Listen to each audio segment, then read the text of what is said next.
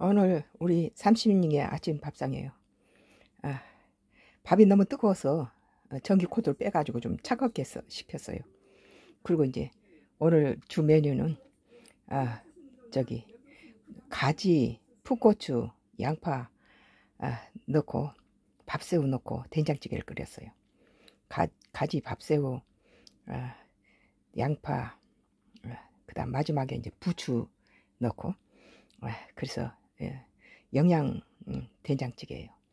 가, 지 된장찌개, 가지 양파, 예, 부추 음, 이렇게 썰어 넣고 쫑쫑 썰어 넣고 밥새우 넣고 된장찌개 끓인 다음에 이제 예, 여기 계란 계란하고 예, 계란 감자 샐러드예요. 방울토마토 넣고, 그리고 여기는 이제 입가심으로 우리 텃밭에서 딴 예, 어제 딴 네 번째 수박 예, 썰어서 이렇게 입가심으로 깔끔하게 아침 식사 차렸어요.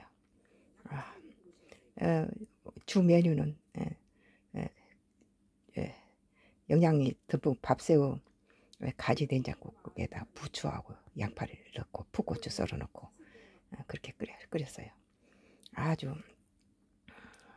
영양 바란스가 잘 맞는 섬유질 귀리하고 세계 10대 푸드에 들어가는 귀리하고 어, 여기에 머이 머이 넣은 머이 그, 그 머이 저기 넣어서 어, 잡곡밥을 하고 어, 여기에는 이제 양파하고 음, 이, 저기 양파하고 이제 우리 밭 에, 마당에서 딴 오이를 식초하고 소금하고 어, 단것 풀어서 새콤달콤하게 했다가 꼭 짜서 물기 제거하고 같이 넣고 감자하고 계란을 또 삶아서 어, 으깬 다음에 그, 그걸 같이 또 방울토마토하고 섞어기고 머이 피클을 같이 넣기 때문에 엄청 영양 바란스가 맞죠. 어, 그래서 단백질과 비타민류 모든 비타민 C, A, 뭐 어, 칼슘, 단백질 골고루 다 들어있는 완전 식단이에요.